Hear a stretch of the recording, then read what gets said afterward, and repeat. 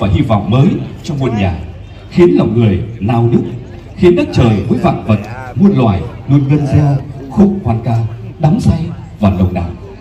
Trong hân hoan đến nao lòng của con người những tươi đẹp trước chồi non lộc biếc của cuộc sống thời hội nhập với xiết bao mới mẻ cùng tràn đầy niềm tin yêu này nhà thơ Nguyễn Ngọc Tung lại nghe lòng dâng lên những xuyến sao và bài thơ có nhạc đề bến cũ ta về của ông sẽ cho chúng ta thấy phần nào cảm xúc ấy.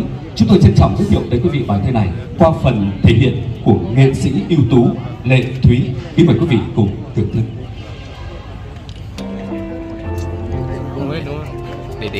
Khói năm chiều bản làng ngõ sen bồn chồn dáng mẹ đợi bên thềm.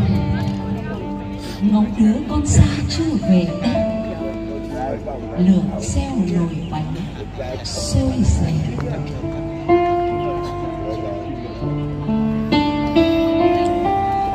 ồn ã chợ chiều phiên cuối năm. Người đi xa xứ, tết về thăm. Ai đến trốn xưa tìm năm cũ. Soi vào thăm thẳm, nỗi cố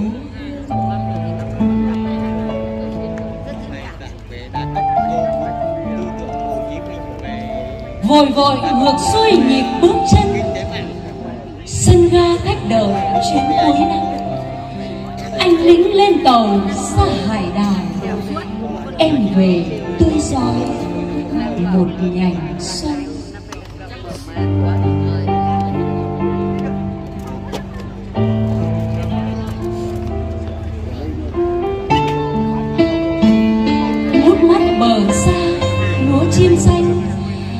Cánh cò vội vội cong gió đông.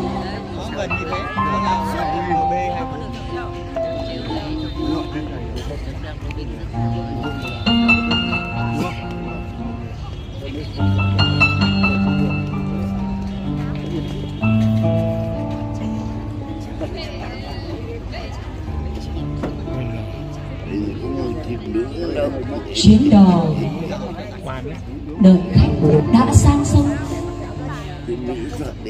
bên sông trầm trầm, tiếng chuông ngân con sông nước chảy, đi thuyền biển bình.